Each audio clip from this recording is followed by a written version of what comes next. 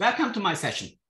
My name is Dr. Erdal Ozkaya, and today I'm going to talk about the cybersecurity dilemma. Currently, I work at Comodo Cybersecurity as CISO, the Chief Information Security Officer. And if you would like to get in touch with me, those are my contact details. As you can see, I'm nearly available in every social media platform.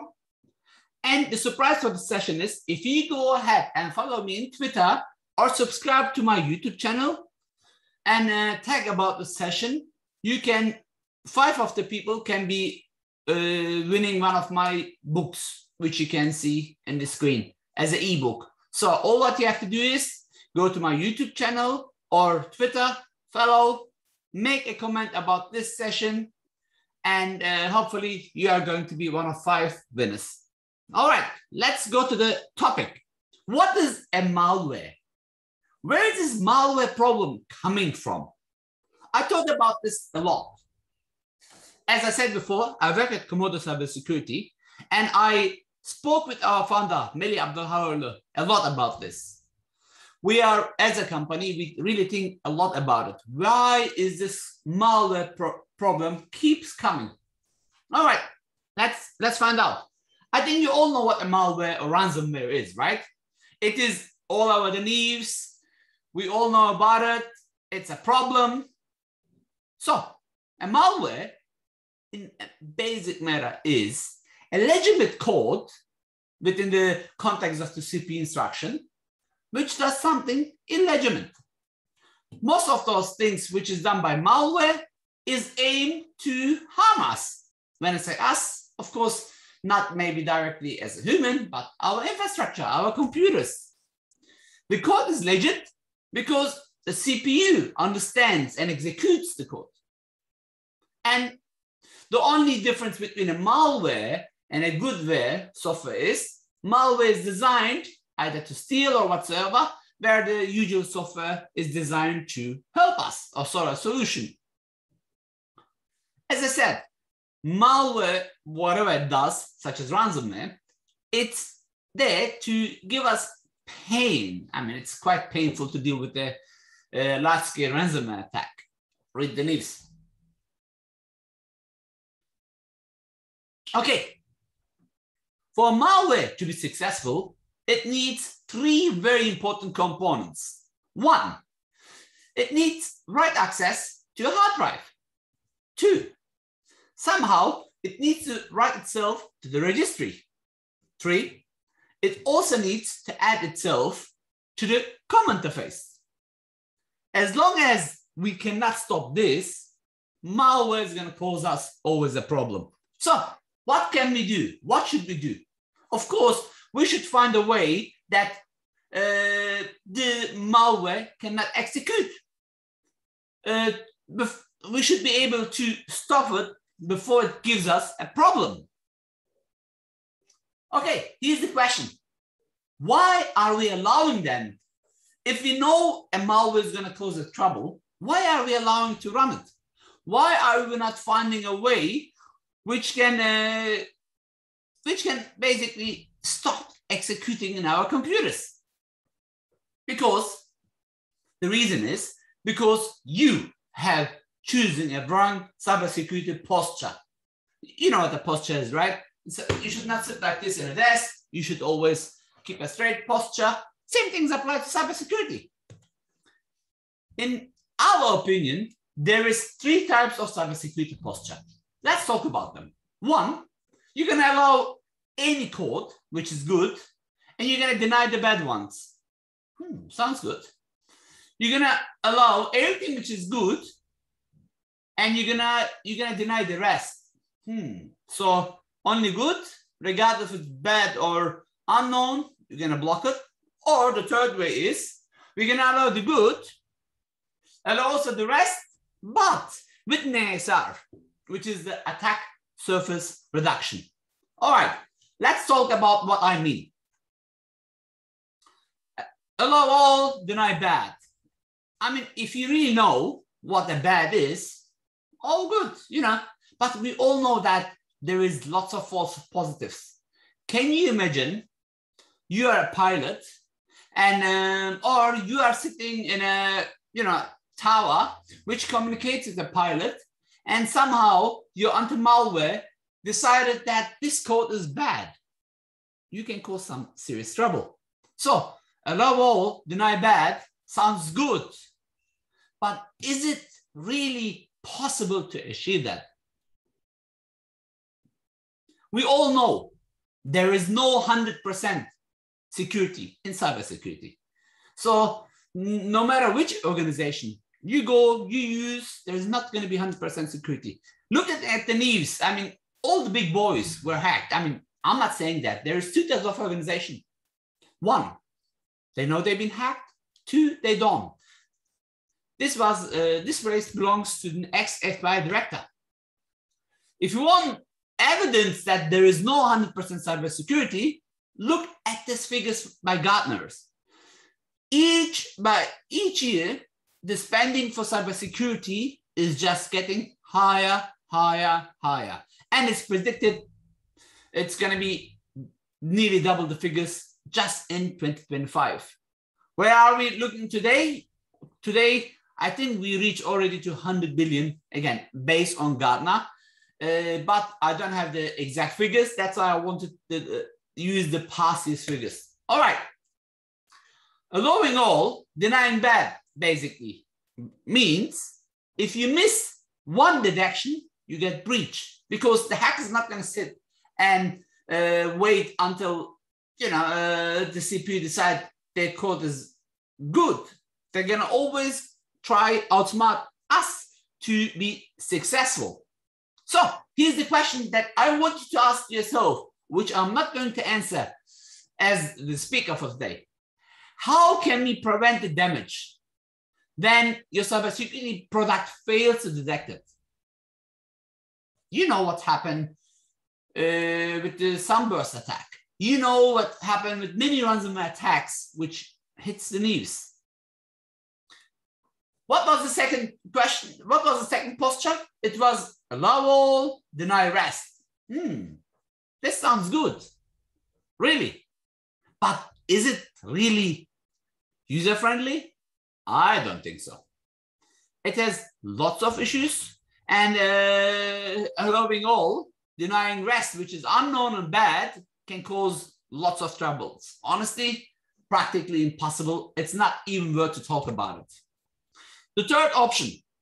The third option is allow good, which you know, and the rest should go to ASR, as we spoke about, the attack surface reduction. And based on the ASR rules, we will not restrict users by denying any application from running on their computers, but we are only going to deny any unknown bad stuff like ransomware, malware from causing damage. How? We're going to run them through ASRs. How? We're going to look if they are really uh, an attack surface.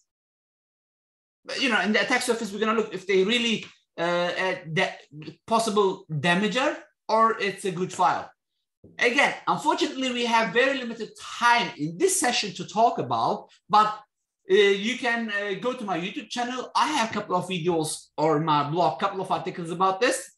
Attack surface reduction can be via human attack surface, basically improving your posture against social engineering attacks is example.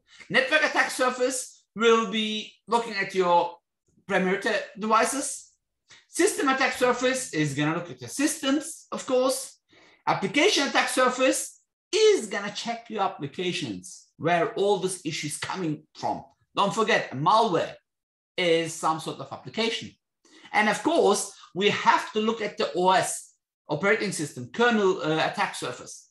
And when we look at the look at Martin's cyber kill chain, we see that most of the issues happens in layer five and six during installation. And of course, uh, so uh, again, I'm gonna keep this on site, but all what I'm asking to do is sure that, okay. Now, how can we ensure cybersecurity? First of all, we, we're going to ensure that no matter what endpoint, XDR, MDR, EDR, CDR, PDR, TDR, whatever you run, you have to ensure that it runs in cybersecurity posture tree. It should contain that malware in an environment that it cannot cause you damage. Besides that, we have to learn as defenders to think like hackers. So how do hackers think? Sophisticated, sophisticated attackers will only choose avenues that they can exploit successfully. I mean, if they know they cannot hack it, why should they spend time? At the end, they're performing a job. They will always look for the weakest link, the easiest path to attack. When we look at the most successful attacks, they leverage most probably known vulnerabilities such as misconfiguration, human errors. Again, this is based on the Verizon data breach report, which I highly recommend you to go and read. Attackers create noise, and noise is their best friends because they can just redirect the attack while taking your attention to somewhere else and be successful. They try to identify assumptions that security depends on, and of course, they always think outside the box. All right then, how can we breach? How can we limit a breach damage? I said, think like a hacker. I repeat, learn to think like hackers. So, an example how hackers think. They will look what in-string value of they trying to get. Do they have any data to steal? Example, EA games. Uh, they steal more than 750 gigabyte data, and then they, uh, you know, they wanted to run them, they run them the computers and they wanted to get some money, ransom, where EA refused to pay, which is smart. But the hackers, unfortunately, they released their IPs, which includes the FIFA, very popular game FIFA 2022 source code and lots of uh, game source code, more than 750 gigabyte data I'm talking of. So they had the data, an example. What else? They always ask, what is my mission here? What can I do? Am I stealing credentials? Or am I gonna literally move to the network, to devices, to misconfigurations? How can I social engineer someone? Example, the Apple social engineering attack, which happened a few years back, where more than 100 uh, celebrities' personal photos were displayed. Unfortunately, they were really bad pictures. And of course, hackers, they want to come back. And when they come back, they want to continue from where they left. It's like bookmarking. For that, they need admin privileges.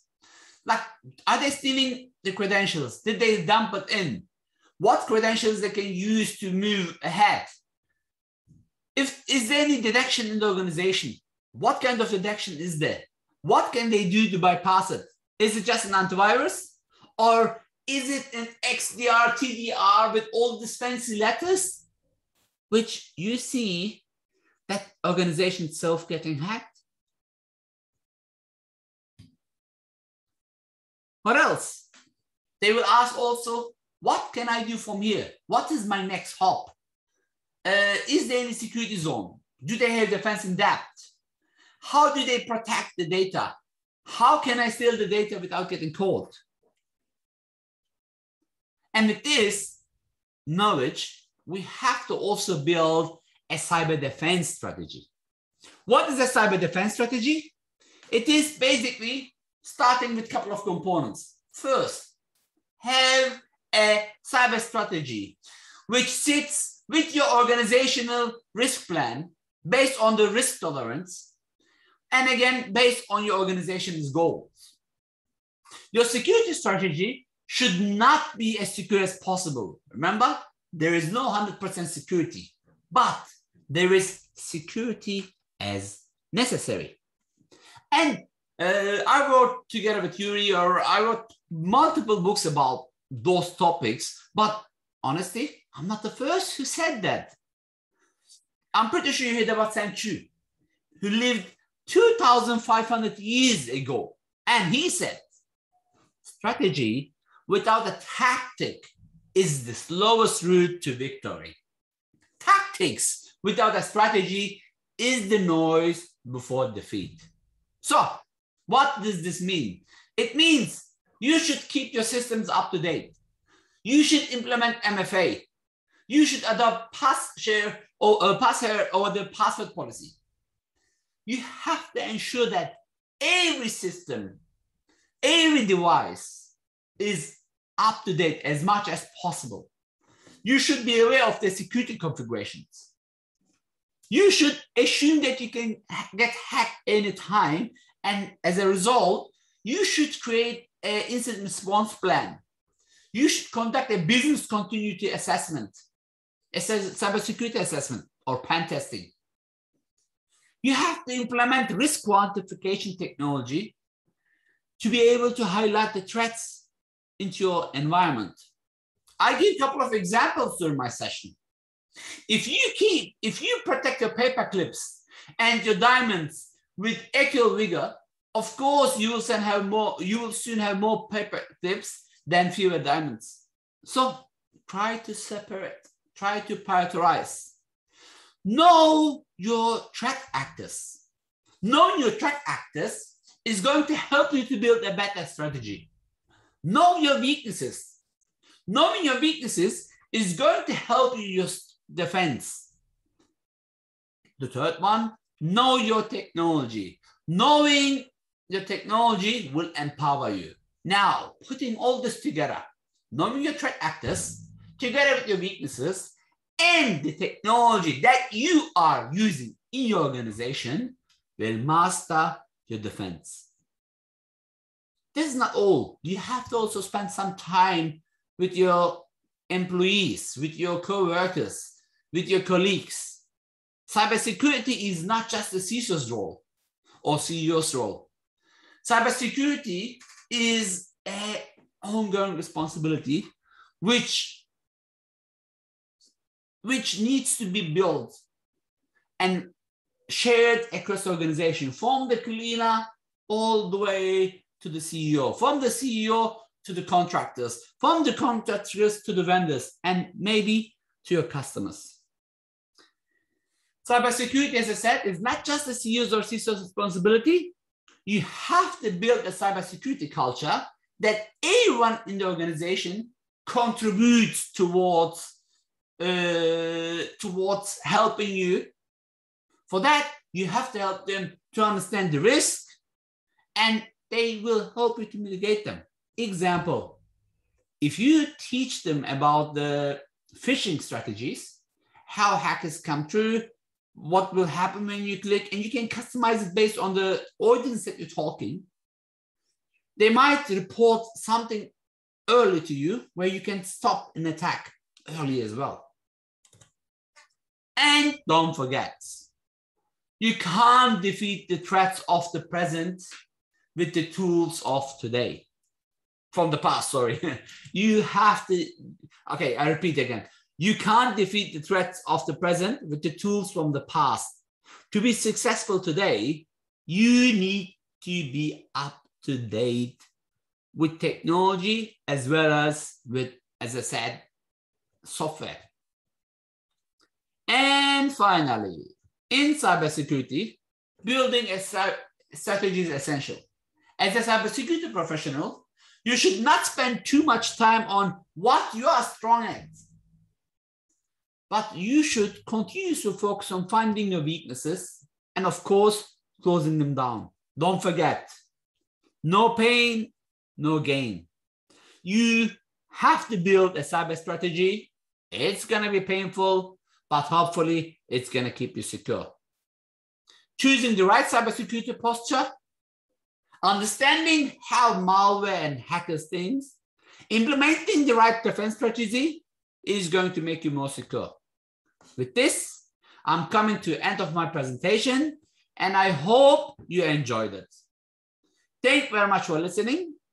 And please don't forget, if you go ahead, follow me at Twitter or connect at my YouTube channel, you will you can win five ebooks of one of them of your choice for five people. Thank you very much and enjoy rest of the sessions.